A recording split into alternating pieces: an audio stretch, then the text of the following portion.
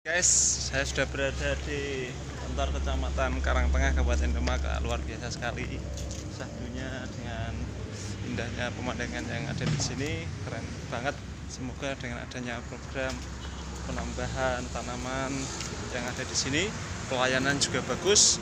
Kita dukung pemerintah khususnya di Karangtengah juga maju ya. Saya sudah survei di sini bersama teman saya di sana Mas Wahyu asli dari sini Jangan lupa subscribe Nasir Jalipura.